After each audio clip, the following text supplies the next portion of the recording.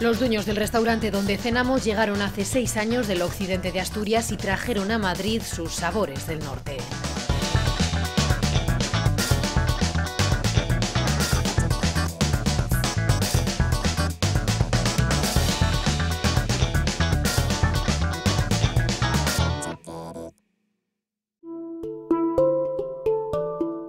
Vamos a cenar a un restaurante asturiano afincado en Madrid. Se trata del Via Vélez, que regentan los hermanos Ron. Allí nos encontramos con el cantante Alex Casademunt. Alex, qué sorpresa. ¿Qué haces en el Via Vélez? Pues hay que ver, mujer, me has pillado aquí así infraganti. Estaba aquí esperando a un amigo que además eh, es una zona que suelo venir bastante porque hay muy buenos restaurantes y me habían hablado muy bien del Via Vélez y bueno, eh, era una tarea pendiente y aquí estoy. A ver qué tal. De momento he empezado con un pequeño pulpo y la verdad es que está exquisito, ¿eh? El Via de Madrid abrió sus puertas en el año 2008. Lo regenta el cocinero asturiano Paco Ron, que obtuvo una estrella Michelin con su otro Via el que tenía en el pueblo asturiano del mismo nombre, hasta que decidió abandonar el occidente de esta región para probar en la capital. A ver, estábamos en el occidente de Asturias. El occidente de Asturias, año 94, 95, bueno, hasta hace bien poco, la- las comunicaciones eran terribles, pero terribles. De hecho, desde Oviedo hasta mi pueblo, que, que es Vía Vélez, son 130 kilómetros y en el año 96, 97, 98, 99, bueno, durante 6 o 7 años, en 130 kilómetros te ibas a las 2 horas y media de coche. Y bueno, fue un restaurante por el verano, por supuesto, que funcionaba bien.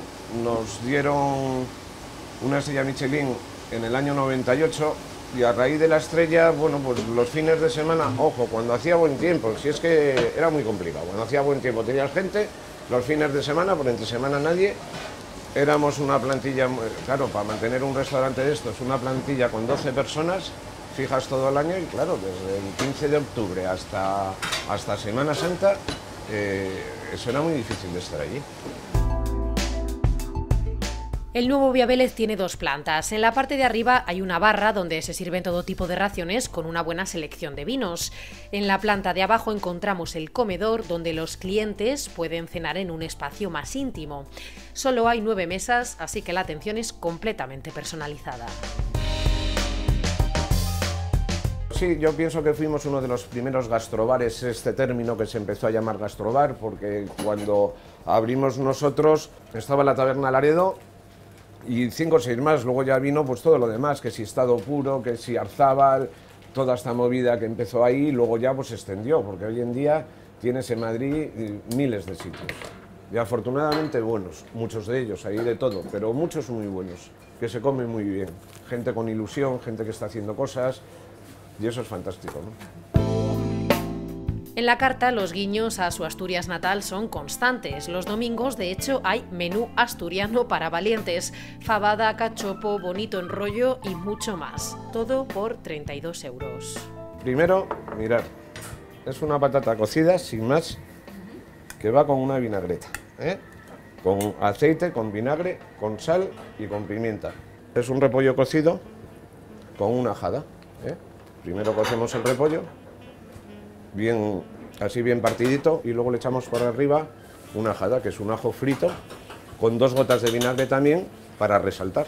Lo juntamos con un poco de puré de patata, muy poquito, muy poquito, muy poquito, con mucha mantequilla, y es como una crema, más que un puré, es una crema de patata, porque está bastante líquida. Cogemos el bacalao, que está en el, en el atemperador, unos 7 minutos a 65 grados. Es más o menos nuestra temperatura para este plato.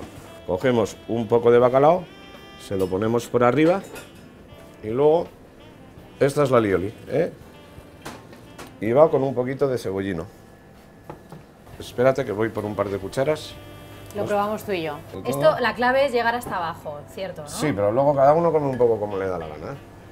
Para ¿Eh? mezclar. Pero tú mezcla un poco lo que es el repollo, porque, porque la jugosidad que te da ese repollo con esa cremita de patata es el secreto del plato. Bueno, allá voy. Está muy agradable. Muy agradable, es un plato Es súper suave. como muy sutil. ¿eh? Cuéntame, estáis a tope con el otro lado de la cama, Sí, en el Teatro Quevedo. Correcto, estamos ahí en Bravo Murillo 18, en el Teatro Quevedo, desde junio que estábamos ahí, ya llevamos unos meses. Y bueno, muy bien, estamos muy contentos porque ha tenido muy buena acogida, se está llenando cada día de público, la gente sale muy contenta, se ríe mucho. Y creo que además ya, pues si venimos de la mano de una película como es El otro lado de la cama, que ya viene todo rodado y encima pues pones unos actores que lo sabemos defender medianamente bien, pues bueno, el resultado es un buen resultado, la verdad. ¿Qué pasa con tu faceta solo de cantante? Que además nosotros te conocimos Bueno, cantando. Eso es Hace una ya faceta- unos cuantos años. Hace ya como 13. Pero sí que es verdad que, bueno, que a nivel musical, eh, si algo tengo claro es que me he definido mucho. Tengo muy claro dónde voy y dónde quiero apuntar. Escribo, compongo y hago todas las canciones que hago y acabo de dar forma a un disco maravilloso con mi hermano Joan de la mano, que creo que es un excelentísimo cantante. Y nada, esperando a que le den salida. Ya sabes que el mundo discográfico está muy mal, que hoy en día empieza a funcionar todo en YouTube y cuando funciona luego te cogen. Y antes no era así, antes apostaban por ti, ahora no lo hacen. Con lo cual, bueno, poco a poco, haciendo buenos videoclips, haciendo buenos trabajos, buenas canciones y la gente parece que tiene acogida y que poco a poco pues va reaccionando y ojalá salgamos dentro de poco con, con el hijo, como yo le llamo, de 10 canciones y, y podamos darle salida. ¿Con qué te quedas? O- Yo creo que me clava, la- te- te me clava las más? sin duda, o sea, es algo que, que no puedo ni remediar ni cambiar en mi vida, es, es sin duda la música, es mi vida, yo me levanto y necesito mi piano y mi guitarra al lado para, y aunque nunca más sacara discos, estaría tocándola cada día igual. Y la interpretación me da algo muy parecido, fíjate, no lo pensaba, en estos últimos años me han ido ofreciendo cosas y he estado al, al pie del cañón de proyectos interesantes.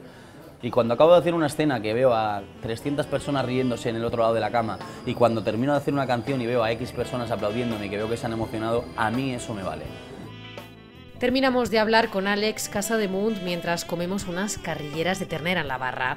Alex se hizo famoso con Operación Triunfo, pero lo cierto es que este cantante y actor catalán no para de trabajar.